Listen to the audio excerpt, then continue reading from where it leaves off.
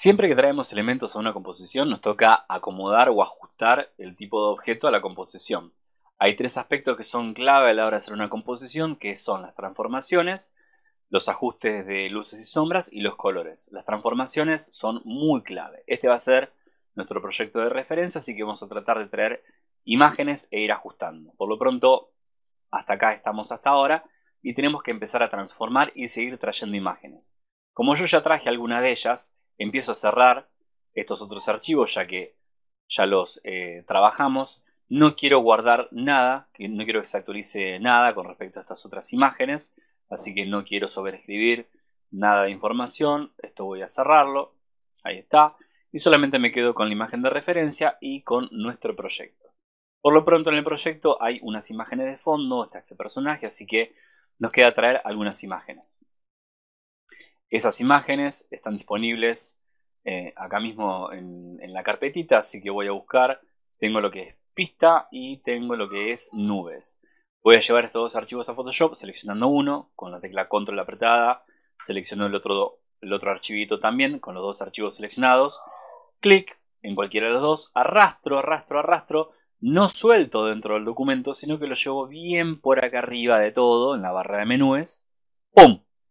Para que se abra, fíjate, en un documento totalmente aparte. Acá tengo nubes, acá tengo pista y vamos a llevar esto entonces al proyecto póster.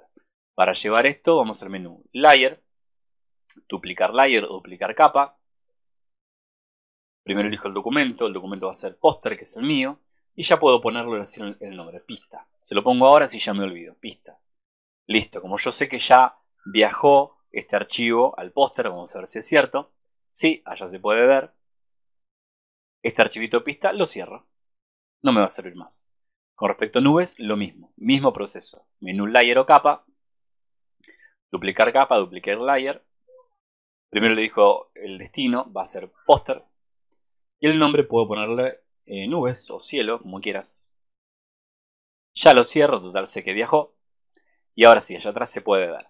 Bueno, es muy práctico en Photoshop ir quitando los ojitos de estas capas como para saber bien dónde están las cosas. Y ahora digo, acá está. Bien, acá está el fondo pista. Es importantísimo que trabajes con la herramienta mover. Siempre. Y asegúrate que la herramienta mover no esté este botón de autoseleccionar activado porque realmente es muy molesto. Si eso está activado quiere decir que depende de dónde haces clic y moves, fíjate, es la capa que te está arrastrando y moviendo y eventualmente transformando. A mí no me gusta trabajar con este botón, así que realmente yo te recomiendo desactivar el autoseleccionar. Y lo más práctico es pararte en la capa que quieres trabajar y ya te trabajas con esa capa.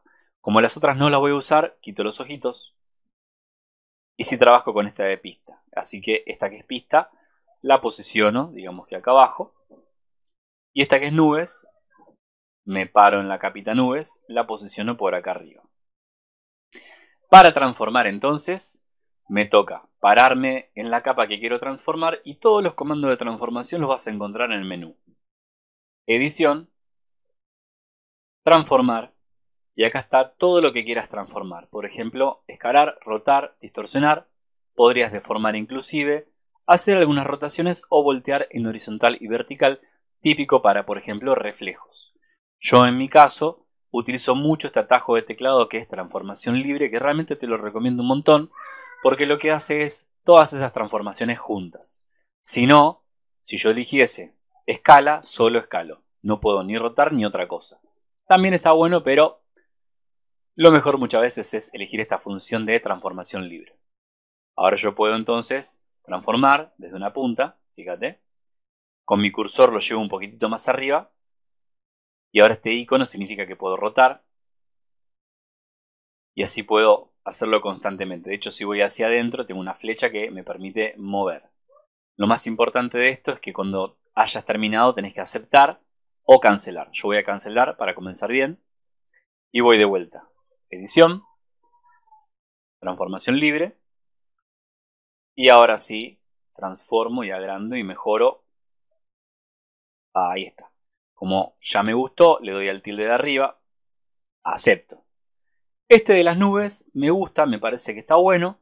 Podría haber de achicarlo un poco, voy a edición, transformación libre, y acá chico un poco para que encaje un poco más con el proyecto. Algo así. Lo acomodo hasta ahí, no mucho más, y ya está. Acepto. De esta forma empiezo a acomodar los elementos. Me paro en la capa, activo el ojito y voy achicando, no, no, no mucho. Ahí está, en la medida que consideres. Vamos aceptando esta. Me pongo el ojito, me paro en la capa. Transformación libre. Chico. Fíjate que achico, roto. Muevo.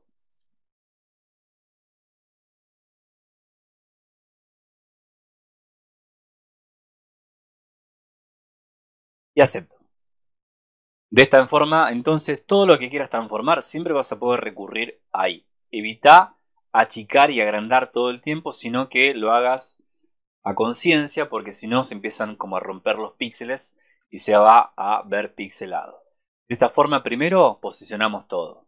Y una vez que está todo posicionado, sí empezamos a, en todo caso, mover el orden de las capas, según nos convenga. Y ya después sí empezamos a traer otro tipo de capas más en particular como máscaras, capas de ajustes y demás, para poder hacer que el proyecto tome forma. Así que importantísimo ubicar las capas, transformarlas, acomodarlas, prepararlas, nombrarlas, todo lo necesario y después así vamos a empezar a trabajar. Recuerda siempre guardar el progreso de tu proyecto.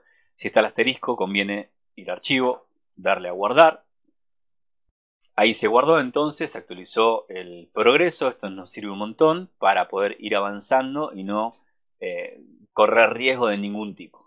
A continuación entonces vamos a seguir aplicando diferentes tipos de capas para que nuestra composición logre este resultado. Muy bien, ya estuvimos modificando, transformando, haciendo unas cuantas modificaciones muy interesantes, pero ahora lo que se viene son las máscaras y esto es clave porque es la mejor forma de trabajar con el método no destructivo para poder cuidar los píxeles al máximo y pensar siempre en un proyecto a futuro. Así que vamos al siguiente video.